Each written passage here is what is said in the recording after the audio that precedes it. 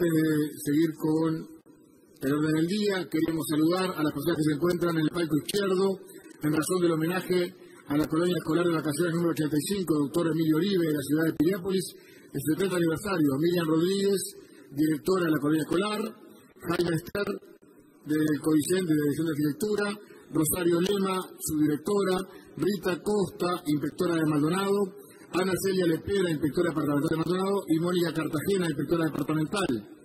Y a las que se encuentran en el palco derecho, Alicia Consentino, inspectora general región 2, Suri Uribarri, inspectora de zona, Graciela Odela, inspectora regionalizada, Mirka Llanón, inspectora técnica, y Gabriela Verdi, representación del consejero Cacciani.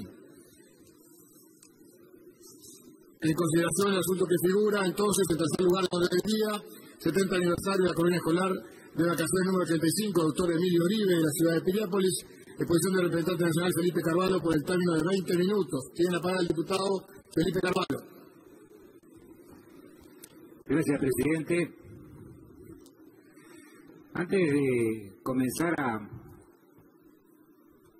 a definir o a plantear, en definitiva, cuál es nuestra opinión sobre el papel que ha jugado en el transcurso de todos estos años la colonia escolar de Piriápolis, queremos situar, digamos, el local donde viene desarrollando esta actividad educativa durante el transcurso de estos 70 años. Nosotros, señor presidente, quisiéramos compartir. Representante que haga silencio, por favor. Muy amable. Puede continuar, diputado. Gracias, presidente. Decíamos, queríamos compartir algunas imágenes a los efectos de, de que también, conjunto de nuestros colegas y todos quienes están participando de, este homenaje, puedan tener una idea eh, clara de cuál es el trabajo que se realiza en ese lugar. Decíamos, eh, el local donde, donde funciona la colonia escolar fue el primer hotel de Piriápolis, un hotel que se construyó por allá por el año 1905 y fue el primer hotel turístico de la costa oeste. Fue diseñado por el arquitecto Alfredo Jones Brown y obviamente que contaba, digamos, con todo el confort y el, lujo de la época. El este hotel fue adquirido por el Estado en un remate judicial el 25 de enero de 1942 junto con el argentino Hotel Llanesos. El 15 de enero de 1946 el Estado también adquiere los muebles y útiles que alajaban el hotel.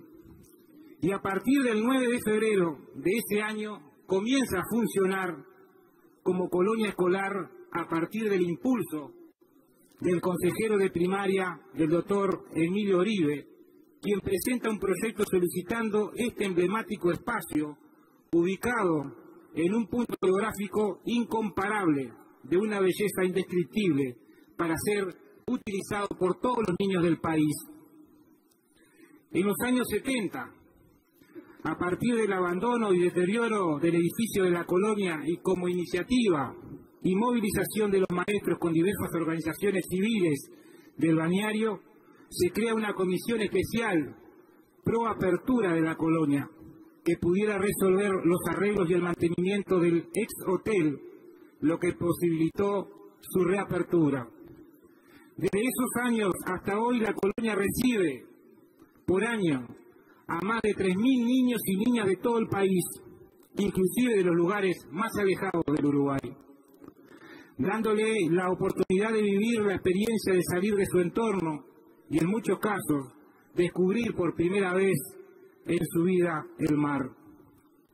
Hoy se sigue manteniendo ese espíritu, ese mismo espíritu, con la mirada en el desarrollo integral del niño, en sintonía con los principios rectores del CEIP, que expresan la necesidad de lograr siempre una mayor y mejor distribución de las oportunidades atendiendo a los principios de equidad, y calidad, contribuyendo al desarrollo integral del ser humano, posibilitando que cada individuo sea agente de la realización de su propio, de su proyecto, perdón, de su proyecto de persona. En la actualidad, la gestión en la colonia escolar tiene como protagonista en su método pedagógico a los niños y niñas. Estos son quienes, junto a los docentes, construyen un proceso de calidad en el aprendizaje, con un formato diferente, de aula expandida, enseñando en el momento y en el lugar, enriquecido con los saberes de cada uno. Se ha transformado además en un museo vivo, pues sus mesas, las sillas, las camas, los muebles antiguos y los espacios cargados de historia tienen vida al ser parte cotidiana de las jornadas escolares. Allí convive lo más rico de la historia con el presente. En la colonia se fomenta una identidad colectiva, se difunden normas, se conforman nuevos modelos con valores éticos que los alumnos apropian. Se promueve un clima de aula empático y colaborativo que propicia el intercambio interactivo, formativo entre alumnos y maestros, dando a conocer la historia y la riqueza cultural de cada lugar que visita la colonia y de la historia particular de este centro. Los niños y niñas visitan las playas, la playa, donde realizan propuestas de educación física, modelado en la arena o juegos de integración, se brindan clases abiertas en los puertos de los ingleses, Fuente de Venus, Cerro de San Antonio, Parque de la Cascada, Cerro del Toro, realizan viajes a Punta del Este, Punta Colorada, Playa Grande, o concurren a talleres de títeres y canto dictado por profesores especializados. Y sobre todo, señor presidente, comparten, cuentan sobre el lugar donde viven, su escuela, su barrio, encuentran coincidencias y diferencias frente al relato del otro. Y en esos días transcurridos nace la amistad y un gran sentido de pertenencia con ese lugar que los recibe de brazos abiertos. Se enseña y aprenden habilidades para la vida en base al respeto, la tolerancia, la solidaridad, la integridad, la equidad, la adaptación al cambio y resistencia a las influencias sociales negativas. Aquí no importa, aquí no importa solamente el tú que, sabes, sino que importa sobre todo, sobre todo el tú que sientes.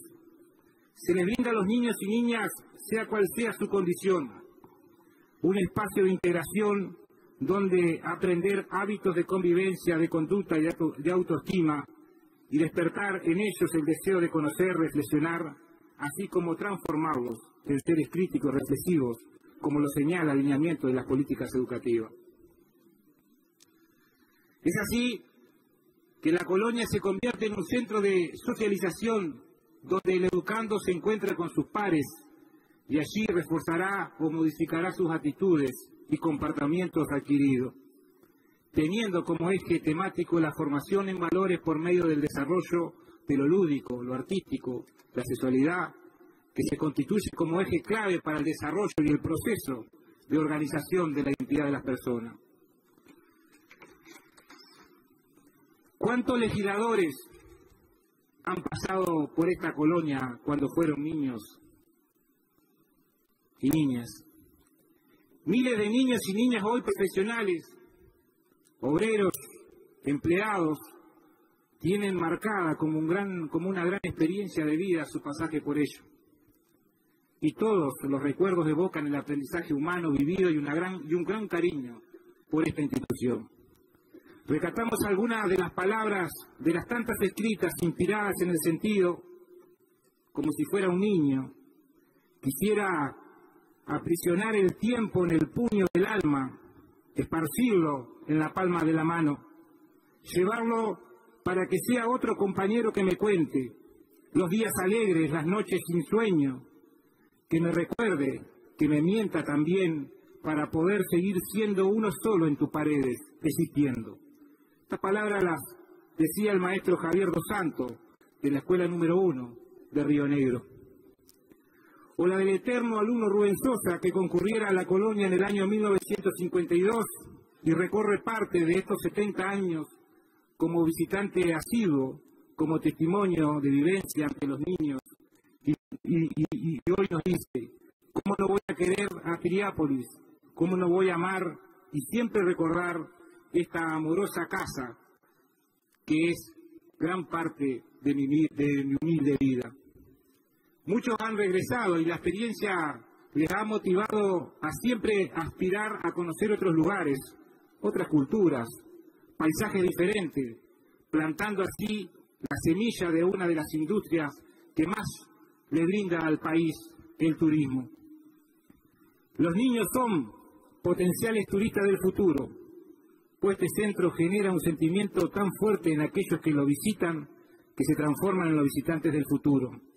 Es por esto que la colonia está en un permanente intercambio y apoyo con AproTour y Sociedad Fomento de Turismo. Es además un centro que de su inicio fue sede de encuentros pedagógicos nacionales e internacionales, que hoy día abre sus puertas a eventos departamentales, nacionales e internacionales, siendo lugar de encuentro de Operaite, transformándolo en biodiesel, presentando y aprobando con la comuna de Maldonado el proyecto Clipperton recorriendo el mundo con el objetivo de despertar la conciencia medioambiental. Alberga museos como el de la biodiversidad marina, el arqueológico del Grupo Paz, el de historia con la sala medioambientada en los años en que funcionaba el hotel, donde se exhibe vajilla y vestimenta de la época, también un museo tecnológico en el que se encuentran máquinas como mimeógrafo y otras que hoy ya no se utilizan. Y desde el año 1993 la colonia ha sido nombrada parte de nuestro patrimonio nacional. El edificio que abarca en total unos 4.200 metros cuadrados de construcción mantiene las mismas funciones que en su origen y posterior reapertura en 1970. Aún con serios problemas edilicios el análisis de la problemática constructiva que han encarado la NEP plantea que la recuperación aún es posible, que el camino a seguir es por etapa, pero de seguir pasando el tiempo el edificio será irrecuperable. El año pasado, con esfuerzo y gran compromiso desde la NEP, se han iniciado algunas reparaciones de las más urgentes y existe la voluntad e iniciativa en la búsqueda de alianzas que se puedan concretar para no solo lograr la refacción del edificio, sino garantizar su mantenimiento. Este homenaje que hoy realizamos pretende, sobre todas las cosas, reconocer el valor simbólico, el valor histórico, el valor social que ha mantenido la institución a lo largo de los 70 años, reconocer la labor y el compromiso que han demostrado los docentes, los funcionarios y ciudadanos que han luchado por mantener en funcionamiento la colonia. A 70 años de labor docente, de recibir y acoger a niños y niñas de todo el país, en nombre de su primera directora, la maestra Josefa Arión, y de su actual directora, la maestra Miriam Rodríguez, queremos agradecer profundamente y homenajear a todos quienes hicieron posible este recorrido a los niños y niñas, hoy hombres y mujeres de este país, a sus funcionarios, docentes y no docentes, a las autoridades departamentales y nacionales de todos los ámbitos y a los ciudadanos que siempre han apoyado. Es de, es de todos ellos los logros que permitieron que aún hoy en la colonia continúe en pie albergando 3.000 niños al año que se maravillan ante su majestuosidad y descubren con admiración ese estuario. Seguro que luego de compartir esa experiencia, los niños van a regresar a ese lugar. Por todo lo que aquí hemos relatado, es inevitable que también querramos apelar a todas las autoridades y a la comunidad en general a enfocar nuestro esfuerzo conjunto en el objetivo de recuperar esta obra de edilicia educativa ya que es de vital importancia en el marco de ayudar al desarrollo de las potencialidades de los niños a través de una experiencia que les marcará positivamente el resto de su vida. Debemos contribuir todos los actores en busca en buscar y en contribuir las iniciativas que dentro de un margen de viabilidad económica puedan sostener esta gran obra social y educativa. Porque como dice la frase. Las escuelas de un país son su porvenir en, miniatura. Por eso que entendíamos más que importante, señor presidente, traer este tema, recito de esta Cámara, a los efectos de homenajear, a nuestro entender, una obra y un trabajo social, como dijéramos hace un momento, de suma importancia que ha marcado la vida de muchos, de miles y miles de niños a lo largo del transcurso de estos 70 años. Gracias, presidente.